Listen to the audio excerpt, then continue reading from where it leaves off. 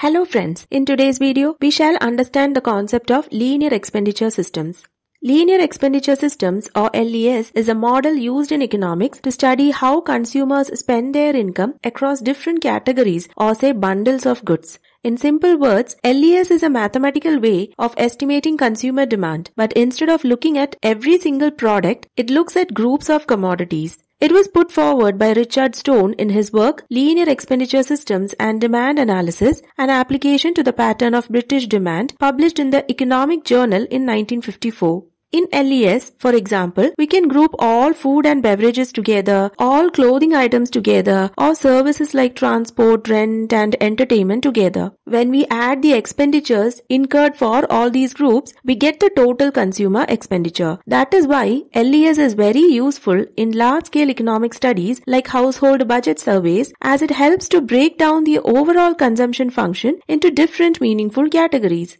Richard Stone's original idea was to use linear expenditure system to connect household expenditure surveys with national income accounting. LES is built on the foundation of utility functions. Just like in indifference curve analysis, as we assume that consumers maximize their utility subject to a budget constraint from the consumption of two substitutable goods, in LES as well, we assume the same. However, with a minor difference that instead of individual goods, we take groups of goods and that these groups are non-substitutable. Although substitution can happen within each group. It means food as a category cannot be substituted with clothing category. But if we take food category alone, rice can be substituted for wheat or clothing category alone if taken into account, shirts can be substituted instead of jeans, etc.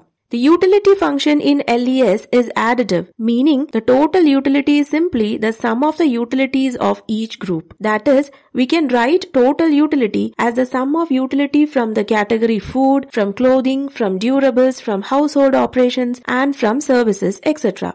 Another important feature of linear expenditure system is that consumers always buy some minimum quantity from each group no matter what the prices are. These are called subsistence quantities because they represent the bare minimum required to survive. After meeting these minimum needs, the income that is left over, called supernumerary income or discretionary income, is then distributed across the different groups according to fixed budget shares. Although we should also keep in mind one limitation, that is, LES assumes that the marginal budget shares are constant. This means as income increases, the share of additional income going into each category remains the same. But in real life, spending patterns can shift more flexibly. So total income can be split into two parts, subsistence expenditure, which covers the minimum needs, and supernumerary expenditure, which is the additional expenses on the categories with the income left after minimum consumption. This is the essence of linear expenditure systems. Now let's connect this to something familiar for us Indians, Thalinomics. In India's Economic Survey of 2019-20, Thalinomics was introduced as a measure of how affordable a plate of food, that is a thali is for the average Indian. In linear expenditure system terms, we can think of at least one thali per day as a subsistence food requirement. That's the minimum quantity that cannot be avoided. If a worker earns a certain daily wage, the cost of this one thali must first be covered. Only after that, the remaining income, that is a supernumerary income, can be spent on more food variety. Now what happens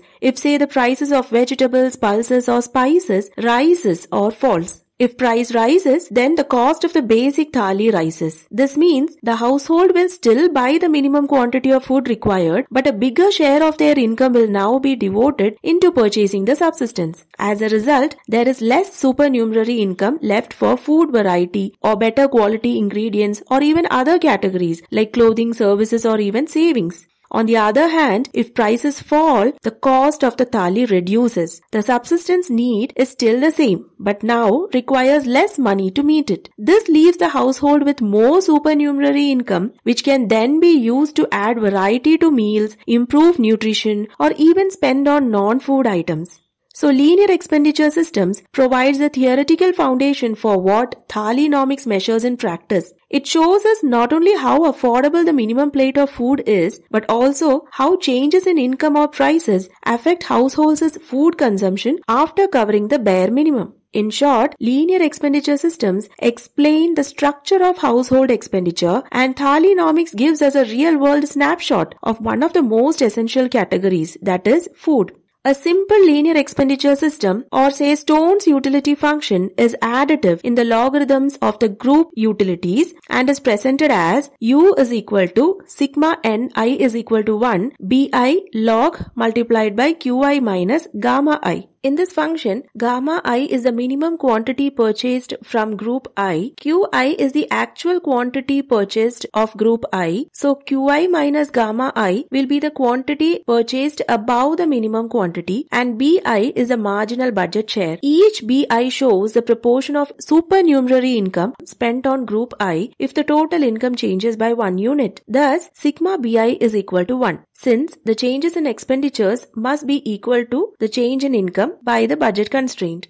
It is assumed that the total income is spent. It is also assumed that the consumers are rational, the utilities are additive, and the value of BI lies between 0 and 1. Also, it is assumed that gamma i is greater than or equal to 0, which means that there is no negative minimum quantity, and then it is assumed that Qi minus gamma i is greater than 0, which means some quantity above the minimum quantity is always purchased. Now the equation can be expanded as u is equal to q1 minus gamma 1 the whole raised to b1 multiplied by q2 minus gamma 2 the whole raised to b2 etc. up to qn minus gamma n raised to bn. Here using the rule for log of a product and the rule for log of a power the above equation can be written as u is equal to b1 log q1 minus gamma 1 plus b2 log q2 minus gamma 2 etc. up to bn log qn minus gamma n. Thus, the maximization of LES utility function subject to the budget constraint can be written as u equals b1 log q1 minus gamma 1 plus b2 log q2 minus gamma 2 plus up to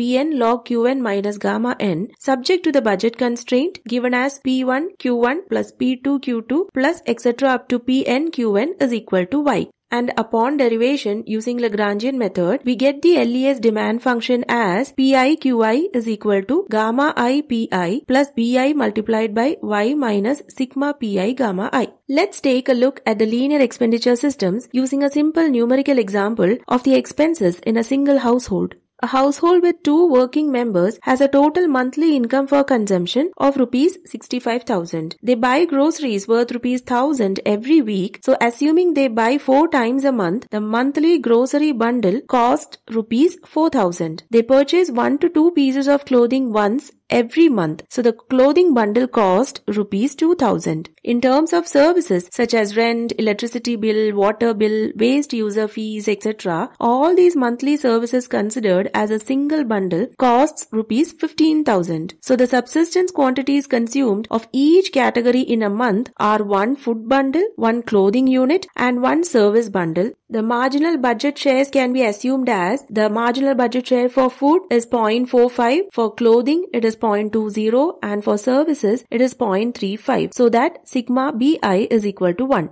The LES demand function in expenditure form is given as PIQI is equal to PI gamma i plus BI multiplied by Y minus sigma PI gamma i. Now computing subsistence expenditure, we get sigma PI gamma i is equal to PF multiplied by gamma F plus PC multiplied by gamma C plus PS multiplied by gamma S which is 21,000 rupees. So the household must spend rupees 21,000 each month to cover the minimum needs from all three groups. The supernumerary income, that is the income left after the subsistence expenditure, can be calculated as y minus sigma pi gamma i. That is 65,000 minus 21,000 which is equal to 44,000 rupees. So 44,000 rupees is the amount available with the household to allocate across groups according to the marginal budget shares.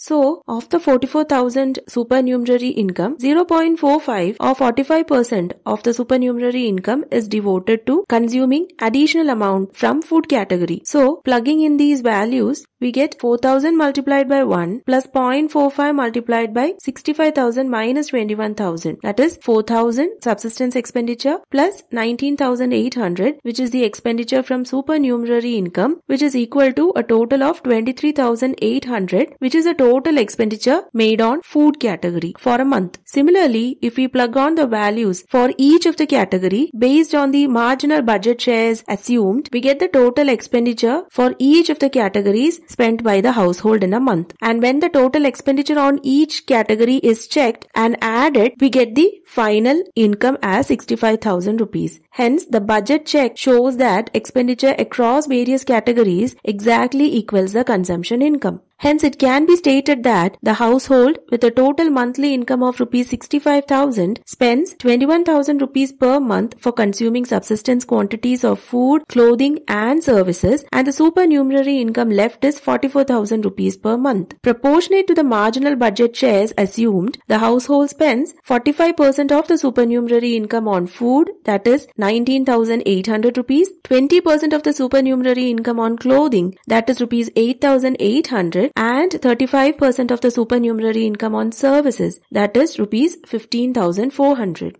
Now to make the example more realistic, let's add savings as a category to the same example and assume the marginal budget share for savings as B savings is equal to 0.75. In this case, the previous marginal budget shares of consumption must be adjusted to that of the marginal budget share of savings so that sigma BI is equal to 1. So, after the subsistence expenditure of rupees 21,000, 75% of the supernumerary income is saved. That is 0.75 multiplied by 44 24,000 rupees which is 33,000 rupees that is saved and the remaining 25% that is 11,000 rupees is allocated additionally for consuming from each of the categories. The relative consumption proportions can be calculated as B dash F is equal to 0.45 multiplied by 0.25 which is 0.1125. B dash C is equal to 0.20 multiplied by 0.25 which is equal to 0.05 and B dash S is equal to 0.35 multiplied by 0.25 which is equal to 0.0875. Now adding up all the new budget shares along with the savings budget share we get it as sigma BI is equal to 1. So allocating the remaining 25% that is rupees 11,000 for additional consumption, we get 4,000 multiplied by 1 plus 0.1125 multiplied by 65,000 minus 21,000. So we get 4,000 spent for subsistence expenditure for food and 4,950 for the expenditure from supernumerary income for the food category and hence we get a total expenditure on the food category as 8,950 per month. Similarly, plugging in the new values of the marginal budget shares, we get the total expenditure on clothing as 4200 per month and on services as 18850 per month. And when we add all the total expenditures per month on these three categories, we get the income as 65,000 rupees. Hence, the budget check shows that the money spent across groups exactly equals the consumption income. Hence, it can be stated that the household with a total monthly income of rupees 65,000 spends 21,000 rupees per month for consuming subsistence quantities of food, clothing and services and the supernumerary income left is 44,000 rupees per month out of which 75% that is 33,000 rupees is a savings share and allocates the remaining 25% that is rupees 11,000 on food, clothing and utility services.